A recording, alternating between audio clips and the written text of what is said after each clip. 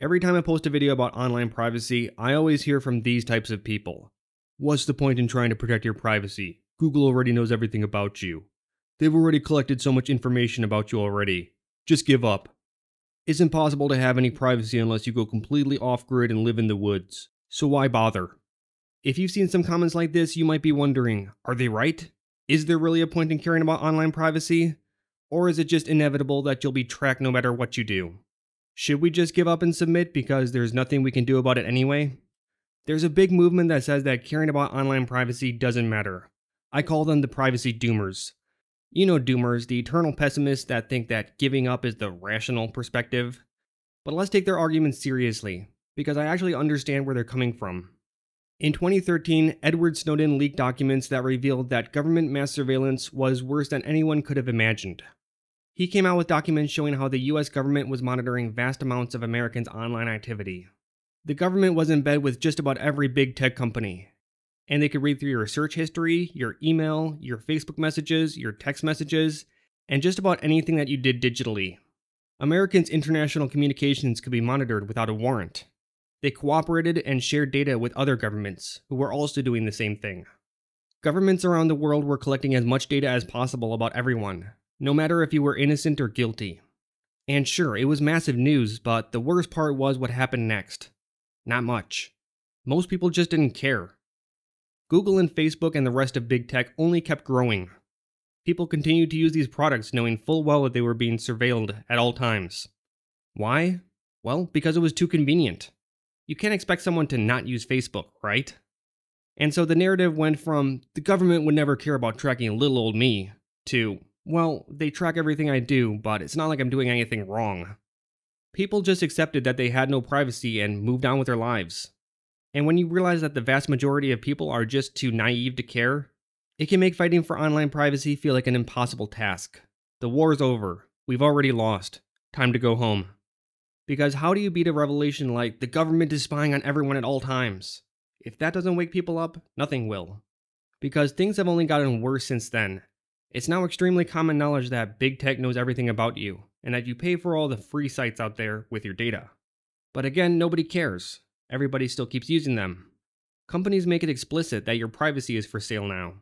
There's even products like this TV that you can get for free, you just pay by giving away all your personal data to them. And 500,000 people immediately signed up to get one. So, normal people still don't care about privacy even after everything that's happened. It's over. Wow, even I'm starting to get a little bit pessimistic. So, I understand where these people are coming from. If you only look at how bad things have gotten, things can look pretty grim. But that's not the full story. Let's listen to the privacy doomers' arguments about why there's no point in caring and see if they're right or not. The most common counter argument I hear is that caring about privacy is worthless because you'll never have total privacy. Maybe you care about privacy and you use a privacy respecting search engine and email provider. But yet, here you are on YouTube being tracked by Google. That makes all your efforts a waste, right? Or some people will go crazy because they can't give up something like WhatsApp because their friends won't all switch to Signal. So they should just give up, right? But I think the issue is that a lot of people see privacy as a black or white thing. But it's not an all or nothing thing. If you want to disappear completely, you have to go completely off the grid, live in a cabin in the middle of nowhere, and become a ghost in the eyes of big tech and the government. But that's not my goal. I'm not trying to disappear completely. My goal is just to minimize the personal data I share. And you actually don't even need to put in much work to improve your privacy by a lot. There's a lot of low hanging fruit that a lot of people don't pick. Switch to a privacy respecting browser like Brave or Firefox. Install uBlock Origin to block trackers. And use a privacy respecting search engine like Brave, DuckDuckGo, or Startpage. That already improves your privacy by a lot. You should just find the level of privacy you need or want and get on with the rest of your life. Because you have to find the level of privacy that works for you some people call this a threat level.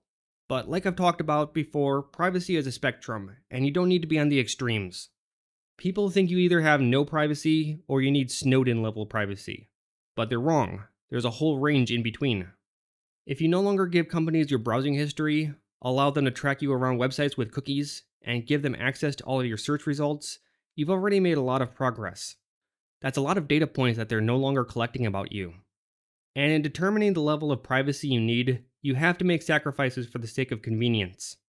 For example, I still use WhatsApp to contact some people in my life because I can't convince everyone to use Signal. So I don't have perfect privacy. Not that it exists anyway. But I do the most I can to minimize the data that big tech can use against me. Like I've said before, don't make perfect the enemy of the good. Just because you can't go completely off the grid doesn't mean you shouldn't take steps to improve your privacy. Now, I could go ultra paranoid and only use an ancient Librebooted ThinkPad, cut off any friend that doesn't use Signal, pay every transaction in my life with cash, and nuke my YouTube account. But it's just not worth it for me. I accept that some data is being collected about me. So the doomers are right in a way that data is being collected about you and it's virtually impossible to opt out completely. But I choose to minimize the data that they can collect, rather than just throwing my hands up and giving up. People will also say that they've already collected so much data about me, so what's the point? And they're right. If you've ever used the internet before, big data probably has collected a lot of info about you. But that's all the more reason not to give them any more data. The argument just doesn't make any sense to me. It's like you have a house without any locks on it, and someone breaks in and takes all of your valuables. Would you say, oh, they've already taken so much, it's too late to start caring about security now? Or would you replace the door and install locks and a security system? Sure, you've already given out a lot of data. You can't undo the damage, but you can prevent future damage. And if you think that they've already gathered too much information about you, if they had, big tech wouldn't be spending billions of dollars to further collect even more data about you. It's not enough for them that they just collect information about your past. They want to be able to predict your future. By cutting off your data, you're taking that away from them. A lot of people also don't realize that caring about online privacy has gone mainstream. There's more people that care than ever before, and as a result, easily accessible privacy tools have also gone mainstream. A few months ago, I saw a DuckDuckGo ad on TV, and they were advertising how their search engine was the private alternative to Google. And regardless of how you feel about DuckDuckGo, the fact is they're much better regarding privacy than something like Google. And it really made me realize just how mainstream the discussion of privacy has become. I don't think 10 years ago you could run an ad like that and have people care. But these days, people are aware of the issues with big tech and are more likely to choose the private option. I was talking to my brother a while back, who is just a normal person, not a weird privacy advocate like me, and I learned that he uses the Brave browser. I didn't have to preach to him about why he should use a more private browser. He was just using it because it was a superior choice. And as people become more aware about how privacy is important, there are now more options than ever. Five or ten years ago, if you wanted to put analytics on your website, I would have only thought to use Google Analytics. But now, if you want a more privacy respecting option, I can name five different analytics services off the top of my head that respect your privacy. So, caring about privacy is important because it brings awareness to the issue. The more people that are aware about it, the more private alternatives people will create and use. The more other companies will learn that privacy is something that people care about now. And as a result, now even giant corporations like Apple are making it a key marketing point that their devices are more private. And for all my criticism about Apple, they have made some good privacy features available to normal people. If you want secure private messaging, you no longer have to be a computer nerd and learn about cryptography so you can end to end encrypt your messages. Now, end to end encryption is the standard all over the place. You can use something like ProtonMail or Signal and send end to end encrypted messages in no time. And if everybody did just give up and nobody cared about online privacy, these tools wouldn't exist, and privacy would be inaccessible to normal people. So it's good that people did care in the past. And the more people do care, the more privacy tools and options there will be. And maybe you can start or contribute to the next great privacy tool. And I know some people might complain that these services are not perfect. And sure, critique them all you want, as I have done as well. But they're still much better than the privacy invasive options out there. And again, you're making perfect the enemy of the good.